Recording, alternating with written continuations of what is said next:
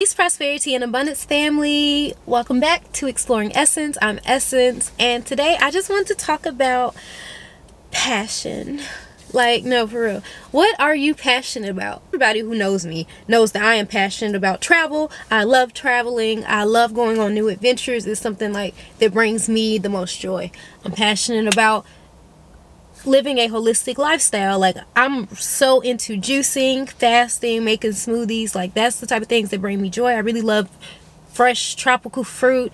Like and I love creating content. Like I really am working on becoming a better visual storyteller, like through photography and videography, um, even with my script writing. Um, I just want to I. Really be thinking about it sometimes. I really just want to make some short films. There are many short film docu-series of my life um, and the things that I'm doing. I feel like that's something that's very fun and something that I'm working on this year. And my biggest passion, as I was saying, is travel. And I want to travel the world. That's something that I have like the utmost desire to do. I just don't currently have the money to travel the world nonstop. Like that's what I want to do. I want to travel the world nonstop um, for at least a year. Like if I could travel to all the countries and cities within those countries I want to go to in one year, it's done. Okay, that's going to be the best travel movie I've ever created. Okay, I want y'all to be a part of that journey, but I just want to encourage, you know, like. I just want to encourage everybody to go after whatever it is that brings them the most joy. Go after your passions. Like this life is your own. And people will try to make you feel as though like it's selfish for trying to pursue your passions or pursue your goals, especially if they feel as though it's not in alignment or it takes you out of the box that they've put you in. But if you have a desire and like anything that's on the inside of you that's just like it's just been pulling at you and you just keep putting it off and putting it off and putting it off. This is me just trying to tell you, do it, sis. Do it. Bruh. you know, bro. Like do it. Like do whatever is going to bring you joy and make you feel as though like your life is fulfilling. You know what I mean? Um, I'm getting back on here like you know making these videos because this is something I also very much enjoy. Like I could talk to my friends uh, you know and literally strangers about any topic ever in the world. But it always for me comes back to like freedom. You know what I mean?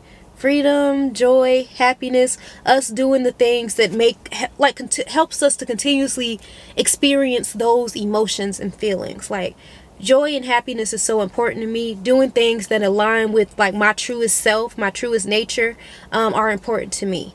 So that's how i want to live my life and that's how i want to and it's like you can say these things but i just want to exemplify all the things that i believe in within me and like that i want to experience in life. Like i want to live a life that is so free that it encourages and inspires other people to be free you know, and to live their life, you know, boldly, authentic, authentically, and you know, you know, they really truly embrace their own essence. Yes, I'm Essence. That's my name. just playing with y'all. No, I'm for real. But like honestly and truly, I'm I'm just all about happiness. I want everybody to be happy. I want my family to be happy. I want my friends to be happy. My partner, like anybody that I'm dating or who like comes into my space at any point in time, I want us all to be happy and to doing things that we are passionate about. Um, I remember like this is a question I like to ask people is like, um, are you living a life that you are passionate about? And if not, what can you start doing now, you know, that will lead you into living your life passionately and doing the things that you are passionate about in life? And I know a lot of people like to say like, you know, once you have kids or like once you have all these bills, they kind of, you have to choose. You know what I mean? So people sometimes feel, I, I personally right now, I don't have any kids. I don't have a lot of bills. Uh, I'm blessed. I'm trying to tell you, I'm blessed to be in a space where I have family who you know, my mom is the best person in the world. I don't care what nobody say. Not everybody has the best relationship with their parents or with their siblings. But my mother has always told me and my siblings if we ever needed a place to come you know we can always come back home. That's always been a thing. That's always been a conversation. Um and she's like told us that like she wants us to like save our money. Do everything that we can do now to save our money to make as much money as we can save it and then do the things that we want to do. So i'm in a blessed position to be able to do those things.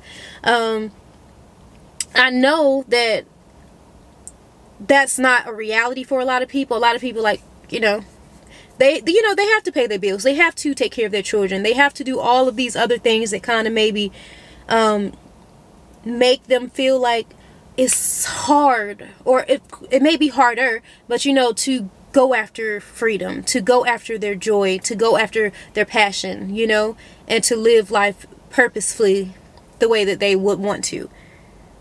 I'm just here to encourage people to not put it off. Like, do, do it, do it. Whatever it is that, like, you've been saying to yourself, like, dang, I, I, I need to do that, do it.